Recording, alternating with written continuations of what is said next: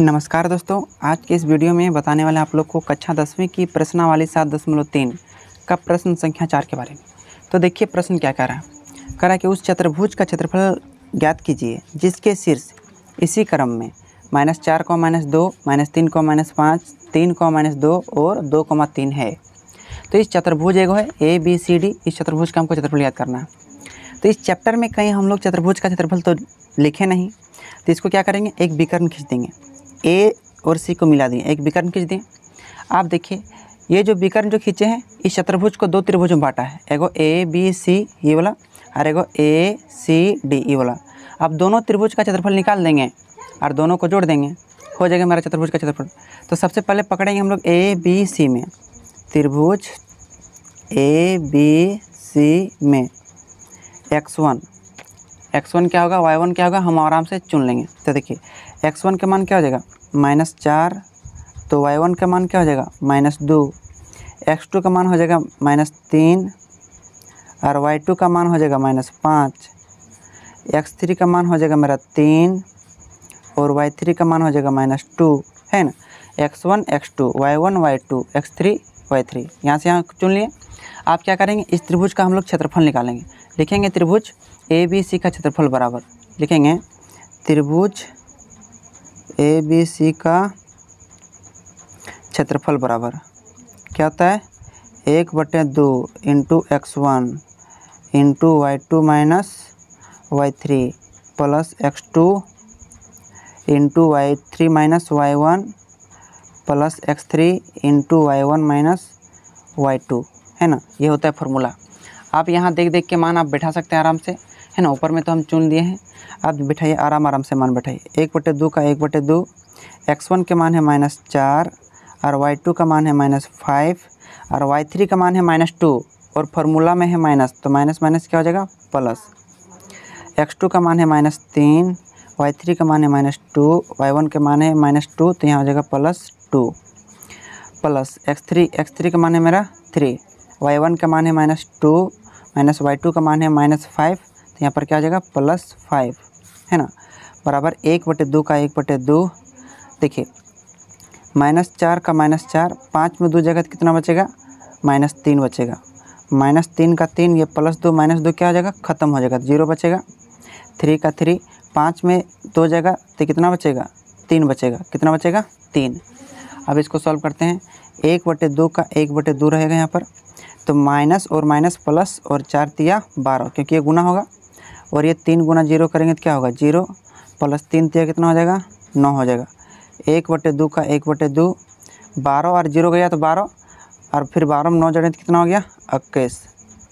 चल, इक्कीस एक एक से गुना करेंगे इक्कीस से कम इक्कीस और बटे दो का दो।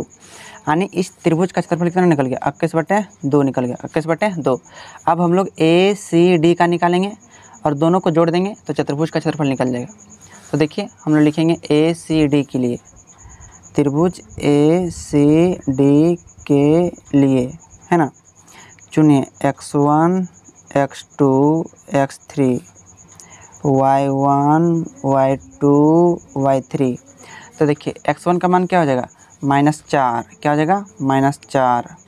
तो वाई वन का मान क्या हो जाएगा? माइनस टू एक्स टू का मान हो जाएगा थ्री और वाई टू हो जाएगा माइनस टू एक्स थ्री का मान हो जाएगा टू और वाई थ्री का मान हो जाएगा थ्री है कि नहीं? आप चुन लेंगे अब इसका क्षेत्रफल निकाल देंगे डी का।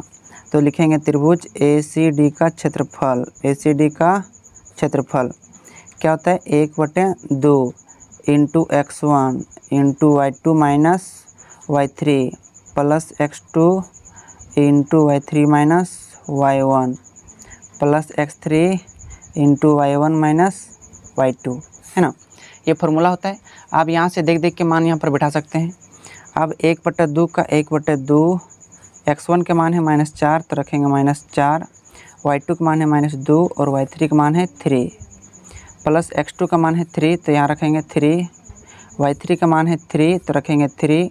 वाई वन का मान है माइनस टू और प्रश्न में है, फॉर्मूला में है माइनस तो माइनस माइनस क्या हो जाएगा? प्लस। एक्स थ्री का मान है टू तो रखेंगे टू। वाई वन का मान है माइनस टू और वाई टू का मान है माइनस टू तो यहाँ हो जाएगा प्लस टू, है ना? आप देखिए, एक बटे दो का एक बटे दो रहने देंगे। माइनस फोर का माइनस फोर। देखिए, माइनस माइनस जुड़ जाएगा, लेकिन चिन्ह माइनस रहेगा। तो माइनस तीन और माइनस दो तो माइनस पाँच हो जाएगा। प्लस थ्री का थ्री, तीन और दो जोड़ेंगे तो कितना हो जाएगा? पाँच। प्लस टू का टू, ये प्लस टू माइनस टू क्या हो जाएगा? ख़त्म हो जाएगा। तो यहाँ पर बचेगा क्या? ज़ीरो बचेगा। है कि नहीं? आप देखिए, एक बटे दो का एक बटे दो। देखिए, माइनस माइनस जुड़ेगा, लेकिन चिन्ह प्लस हो जाएगा। चार पंजे बीस। प्लस पाँच दिए पंद्रह, प्लस ज़ीरो का ज़ीरो। एक बटे दो का एक बटे दो, बीस और पंद्रह जोड़ेंगे तो कितना हो जाएगा? थर्टी फाइव मतलब पैंतीस हो जाएगा। आप पैंतीस को एक से गुना करेंगे तो पैंतीस, और बटे दो का पैंतीस बटे दो हो गया। यानी इस चतुर्भुज का क्षेत्रफल कितना निकल गया? पैंतीस बटे दो।